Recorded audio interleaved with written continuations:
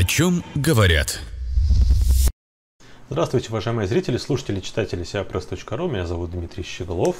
Мы подводим сейчас самые интересные итоги нашей недели вместе с Тарасом Самборским. Это издатель газеты «Новый город». Тарас, привет, на связи. Да, привет. Привет, Дима, привет всем, друзья. Да, а, давайте для начала поговорим про самую горячую тему уходящей недели в Сургуте. Это историю, которая у нас случилась буквально, развернулась буквально в 2-3 дня. А, история с назначением нового конкурса на поиск кандидатов на пост главы Сургута, которую внезапно отменил, точнее приостановил суд по иску Евгения Барсова, депутата. А, и как бы все должно было немножко зависнуть на несколько дней, и потом в течение буквально одного дня все переигралось стремительно, и э, волшебным образом суд перенесся на 4 дня. Э, заседание Думы города, которое должно было определять, назначать конкурс, перенеслось ровно на столько часов, чтобы успеть, э, чтобы суд успел пройти, и в итоге она вот пройдет, ну, мы записываемся тогда, когда она еще только начинается, но оно пройдет и конкурс будет назначен. А, то есть это была такая очередная спецоперация, которая развернулась на просторах муниципальной политики в городе Сургут. Мне кажется, что этот кейс плохой. Потому что когда кто-то э, слишком, ну, я же попытаюсь так сформулировать максимально корректно, когда кто-то грязными ногами топчет по квартире, это плохо. То есть можно было как-то так, ну, ну, то есть эти все процессы должны происходить просто немножко в другом качестве, как мне кажется.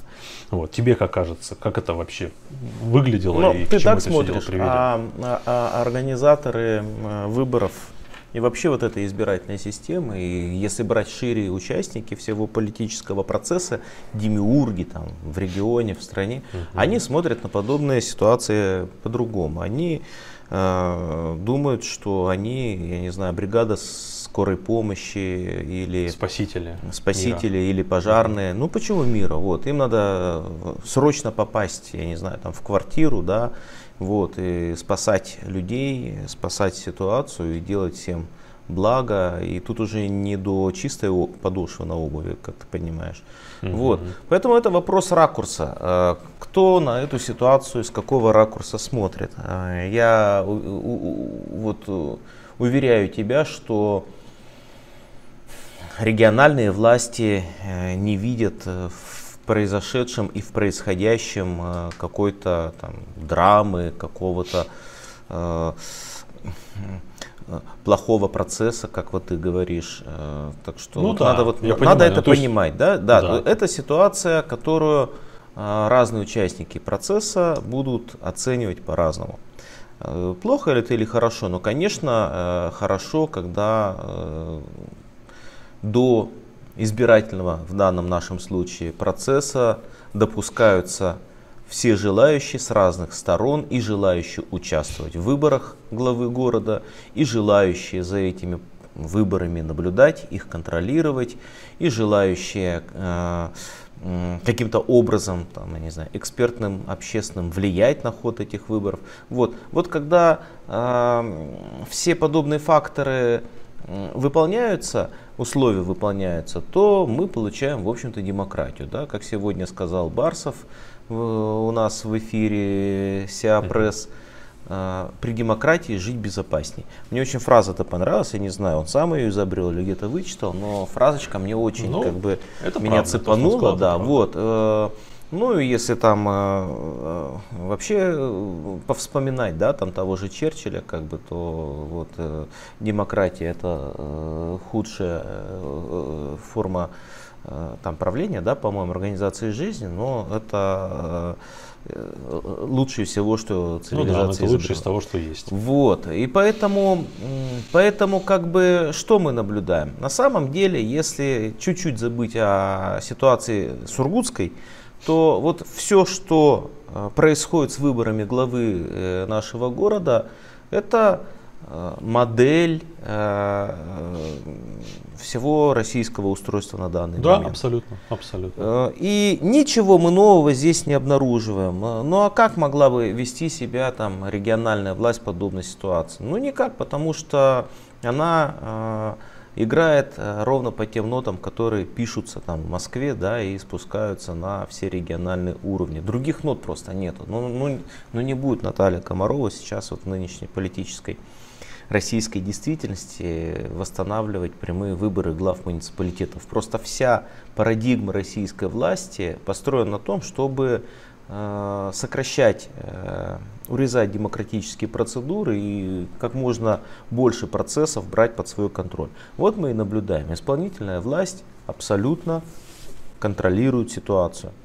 Опять-таки, да. плохо это, хорошо, это вторая Э, вещь, да, но она контролирует ситуацию. Захотела, допустила 66 человек, могла бы не допускать, могла бы сделать так, чтобы их на подступах там, к восходу 4, да, там, я не знаю, отсеивали, отстреливали, сажали в автозаки, я не знаю, сколько способов существует вот, предотвратить э, вот, появление такого большого количества соискателей.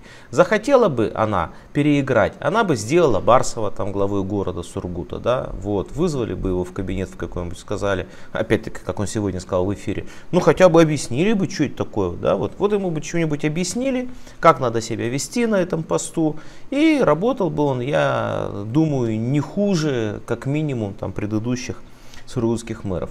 Вот. Заходила исполнительная власть, решение суда получила в нужный час, э, в нужном виде, как бы, да, вот, э, и никаких проблем. А теперь к тому, почему действительно все, что мы наблюдаем, это плохо. Потому что вот в этой всесилии исполнительной власти, конечно же, ну, кроется серьезная угроза даже уже не демократии, да, а просто правам, правам человека. Вот, вот кон- кон- конкретным, конечным правам человека. Тот же Бондаренко, он же правильно говорит, когда, э, э, когда он сказал, что ладно, там выборы там допустили, не допустили, но конкретно нарушены права гражданина Барсова. То есть у нас любой гражданин открывает Конституцию, да, вот, которую мы написали недавно, читает, о, можно, идет ножками, там подает документы. А это декларация конституционная. А факт заключается в том, что ни этот человек, и не демократические институты, и не демократический ход событий будут э, определять, вот имеет он какие-то права на что-то или не имеет. Вот, если кто-то захочет, этот человек будет лишен абсолютно всех своих прав. И то, ну, как... то же самое, вот я сейчас да, на да, минуту да, да, вставлюсь. А, абсолютно тот же процесс мы прямо сейчас, прямо в эти часы наблюдаем с э, историей, которая разворачивается вокруг а, иностранного агента ФБК, а, о том, что людей просто хватают, людей тащат, людей вылавливают возле подъездов, увозят в неизвестном направлении, к ним не допускают адвокатов, кого-то выбрасывают за пределы страны, кого-то арестовывают по каким-то статьям, то есть людей просто выбросили, то есть государство выбрало какой-то пул персоналей и выбрасывает его из правового поля, оно как бы, наверное, может себя оправдать тем, что оно борется этим с революционерами, с агентами Запада, со всякими редисками нехорошими. Но когда ты, как государство, начинаешь нарушать чьи-то права вот именно таким образом, то есть как бы избирательно, ты уже не можешь остановиться. То есть ну, это, ты это сорвал вот... у меня с языка, как бы, ага. да, ты меня передил, как бы я хотел вот этот пример привести, но том-то и дело, когда я говорю о том, что на примере сургутских выборов мы, да и не только сургутских, мы видим а, а, уменьшенную модель, концентрированную такую модель всего политического устройства и всего нынешнего политического процесса российского, я имею в виду ровно то, что а, у нашего государства остается не так уж много э, способов э, контролировать ситуацию, ну так, э, контролировать ту ситуацию, которая, которую себе проектирует государство, да, вот. Поэтому э, каждое решение все более э, откровенное, все более решительное, да, все более такое безапелляционное. Ну, еще раз, да, вот там надо арестовать, арестовываем, надо э, завести дело, заводим, вот. Э, здесь уже никто не морщится, не фыркает, не одевает белые перчатки, как бы, ну вот, вот это вот так вот и происходит. Поэтому, как бы, еще раз, не надо в Сургуте искать какую-то особенность. В Сургуте происходит ровно а, то, что запрограммировано нынешним а, политическим ходом вещей в стране. Да? И, к сожалению, большому, по-другому не будет. Наверное, а, должны произойти серьезно какие-то изменения в федеральной повестке политической для того, чтобы были возвращены прямые выборы глав муниципалитетов. Да? Но сейчас, сейчас пока э, борьба за хоть какую-то там демократичность вот всей этой процедуры э, идет на уровне э, борьбы конкретного, в общем-то, одного единственного человека, да, господина Барсова. Ну, и партии ЛДПР. И, кстати, а, насчет ЛДПР, вот, ну, без... Я оставлю за скобками нашего разговора мое отношение к партии, да, как таковой, там, к ее вождю и так далее но мне импонирует именно партийность этого процесса. То есть вот ЛДПРовцы не стесняются везде высказывать свою поддержку своим кандидатам. Они выступают, как мы видим, ну, таким фронтом единым достаточно, он немногочестно, но тем не менее, это команда.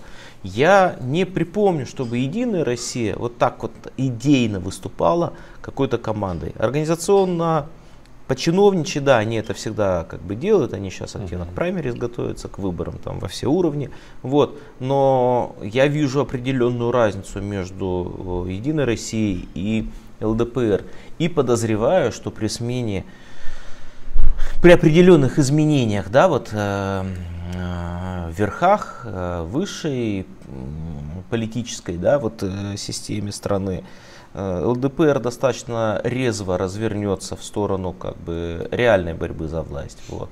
Угу. Мне вот из сургутской истории увиделся еще и такой вывод. Ну да, хорошо. Э, я вот еще бы дополнил о том, что буквально тоже коротенько, о том, что ты говорил про некоторую черту, которая у нас приобрело, приобрело наше государство достаточно давно, но сейчас она развивается просто уже в титанических масштабах, циклопических, о том, что каждый, кто выбирается, тот скорее должен быть либо слаб, либо дискредитирован, либо лишен полномочий. Каждый, кто назначается, должен быть наделен полномочиями, наделен силой, иметь пиаровские ресурсы, иметь вообще все абсолютно ресурсы. И это приводит к тому, что то есть у нас э, и в, этой, в этой среде лежит как раз то, что мы фактически назначаем глав, где-то фактически назначаем губернаторов, э, и, э, как бы, и, кстати, как вы можете заметить, да, депутаты Госдумы у нас обычно выставляются какими-то странными клоунами которые предлагают всякие глупости. Тоже люди были избраны народом, вот смотрите, кого тут выбирали. Ну, потому что, естественно, отбор заменен на селективный, да, ну, да. и э, происходит э, генетический сбой как бы в политических э, акторах. Вот, и они все, э, они все все хуже, хуже и хуже. Да, и с каждым новым политическим актом э, мы наблюдаем ухудшение э, качества тех или иных политических институтов, будь то э, муниципалитет исполнительный или будь то какая-то дума любого уровня, вот, будь то какое-нибудь министерство, правительство, э, администрация президента. То есть качество, количество, количество качественного материала в политике уменьшается. Уменьшается, да. И как раз вот отсутствие выборов нормальных этому очень-очень сильно способствует. Ладно, мы закончим сейчас этот, этот разговор, а, перейдем к теме архитектуры в городе Сургуте и то, к чему ее привели. А, подписывайтесь на наш канал Сиапресс в, на ютубе, читайте Сиапресс на сайте, ставьте лайки и к следующему видео там мы будем говорить еще про Сургут. thank you